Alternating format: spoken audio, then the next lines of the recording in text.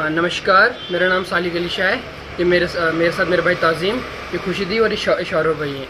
हमारा इशू ये है धन्वंतरी लाइब्रेरी के twenty four twenty four into seven हम ये चाहते हैं कि उसको ओपन किया जाए। इसी की रिकॉर्डिंग हमने कल यूसी साहब को मेमोरेंडम भी दिया था।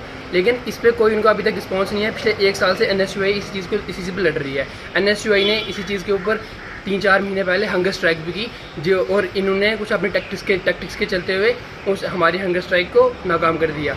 और अब इन, अब इन्होंने तीन चार दिन पहले एक ऑर्डर निकाला है, जिसमें इन्होंने बताया है कि लाइब्रेरी की जो टाइमिंग है इन्होंने बढ़ा के ग्यारह से बारह कर दी है। और ये जब इनको कहा जाता है कि लाइब्रेरी ट्वेंटी फोर आवर्स के लिए ओपन की जाए स्टूडेंट्स के पढ़ने के लिए तो ये बहुत सारे रीजंस देते हैं। ये कहते हैं कि सिक्योरिटी थ्रेट है। अगर सिक्योरिटी थ्रेट है आपको तो आप जो आपने अभी ऑर्डर निकाला है, उसमें आपने कहा कि बाहर के बच्चे भी धनवंतरी में आ सकते हैं।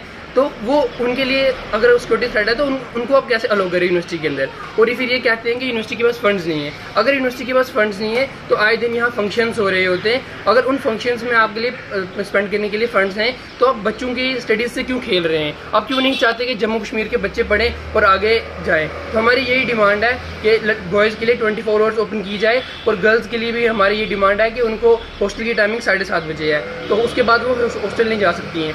तो इसलिए हम चाहते हैं कि मिनिमम उनको 10 बजे तक पढ़ने का मौका दिया जाए, क्योंकि हॉस्टल में उनके पास अच्छी फैसिलिटीज़ नहीं है पढ़ने के लिए, वहाँ रीडिंग रूम्स भी हैं, लेकिन वहाँ पे पढ़ाई नहीं होती अच्छे से। तो हम ये चाहते हैं कि गर्ल्स को 10 बजे तक उन इनको अलाउ किया जाए और बॉयज़ की 24 फोर आवर्स के लिए ओपन की जाए लाइब्रेरी